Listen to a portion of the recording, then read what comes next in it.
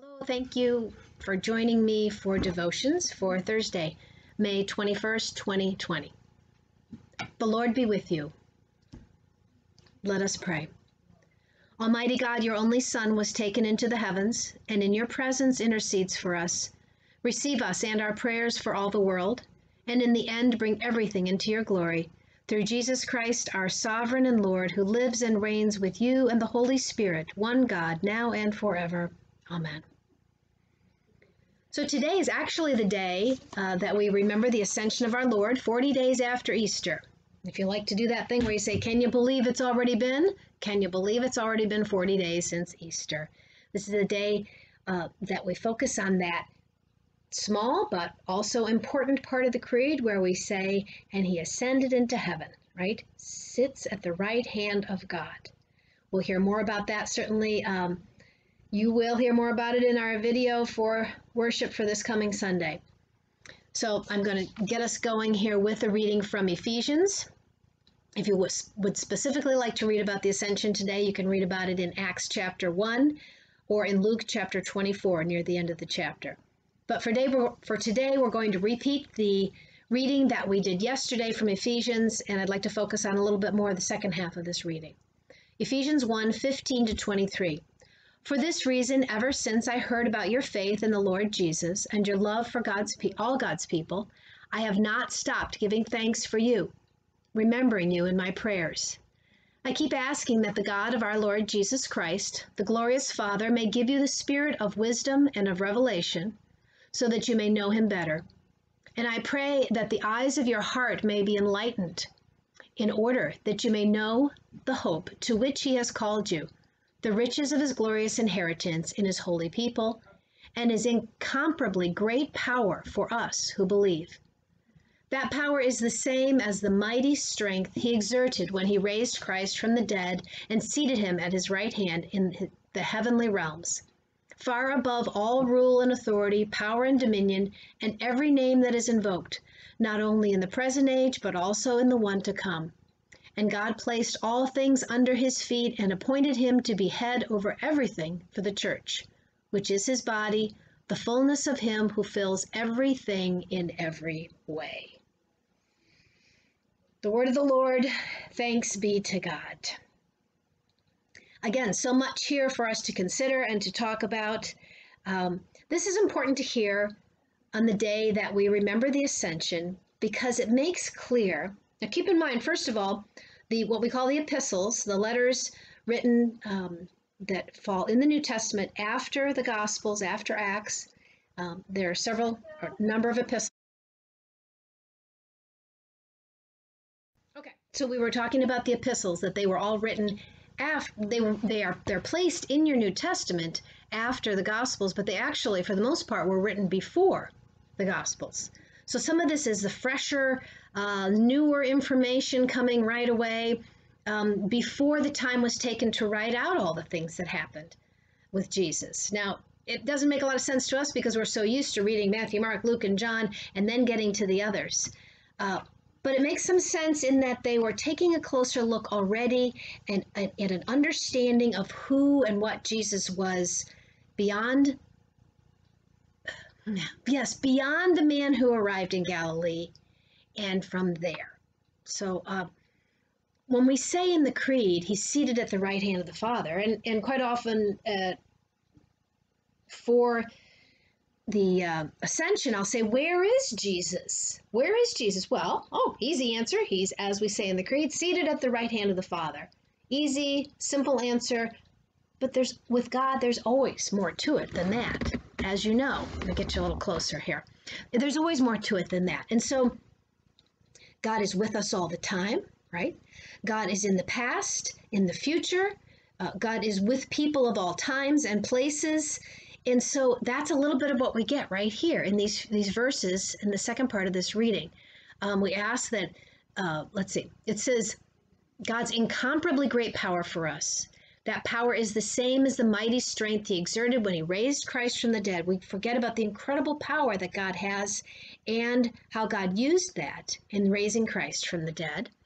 Seated him at the right hand in the heavenly realms, far above all far above all rule and authority, power and dominion, every name that's invoked, above everything. This is the author of Ephesians' attempt to try and say how up high, high, high Jesus is from everything, above, and not just up and down, but, but spatially in every direction and beyond that, power, dominion.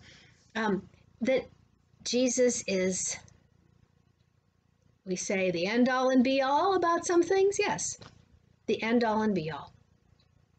I'm scrambling with the right words and trying and fumbling a bit, trying to come up with the same thing that, or even better than what the writer of Ephesians has here. And, and, and I can't come up with anything better. Anything you can think of, the greatest person, the greatest place, greatest time, anything like that, Jesus is just that much more above.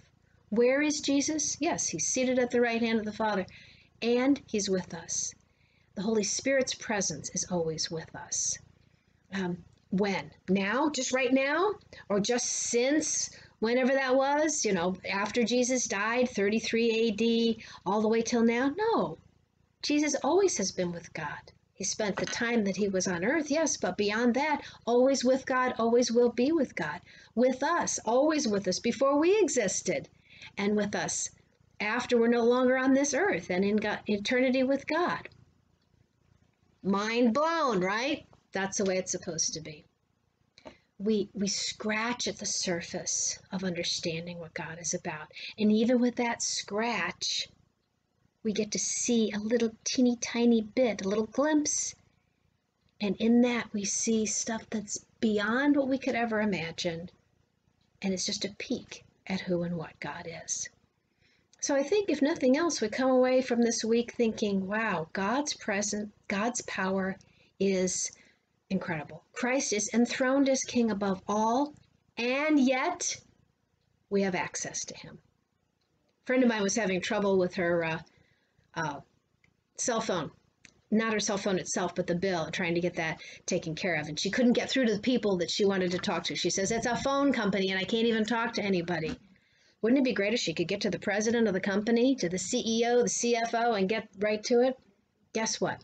Every day, at any moment, we have access to Jesus. Even though he is at the right hand of God, he has promised that he's with us and that when we turn to him in prayer, we are that close to him all the time. So, you know what? You've got people in high places, right? You've got the best, you and I. And the great part is we share it with everyone else. Well, at least that's what we're supposed to be doing. All right, so let's go from here right now and approach that throne and ask Jesus for his guidance in our lives, for his direction and his care. Let us pray. We bring our prayers before you, dear Lord, and we thank you for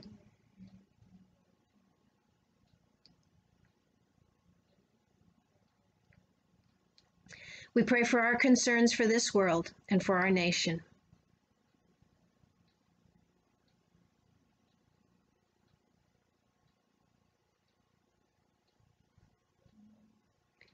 We pray for the concerns of our communities in which we live.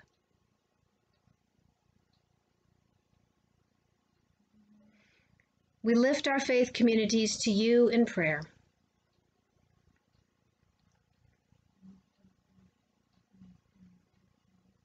We pray for our friends and our families, for those dealing with difficulty and those celebrating with joy.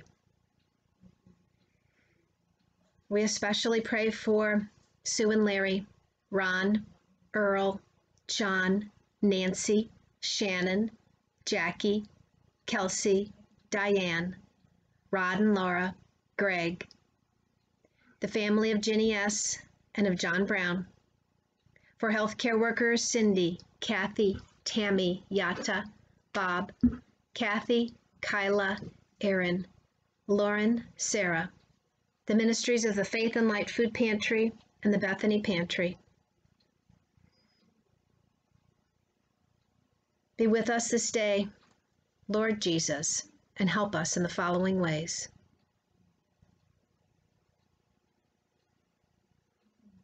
We pray as Jesus taught us Our Father in heaven, hallowed be your name. Your kingdom come, your will be done, on earth as in heaven. Give us today our daily bread. Forgive us our sins as we forgive those who sin against us. Save us from the time of trial. Deliver us from evil. For the kingdom, the power, and the glory are yours, now and forever. Amen. Now may the one who brought forth Jesus from the dead raise you to new life, fill you with hope, turn your mourning into dancing. Almighty God, Father, Son, and Holy Spirit bless you now and forever. Amen. Christ is risen just as he said. Stay home in peace, share the good news. Alleluia. Thanks be to God. Alleluia. I'll just report, repeat my announcement from yesterday, which is um, at this point, tentatively, Gethsemane Lutheran Church in Fort Wayne hopes to go back to some in person worship beginning with June on June 14th. And um, tentatively, if all goes as planned, um, and keep in mind that hopefully we're still we're still planning to have some video services for those who cannot attend or should not yet attend. So uh, there will be more information on that as time goes by. Just wanted to get that to you. Hope you have a great day. Bye bye.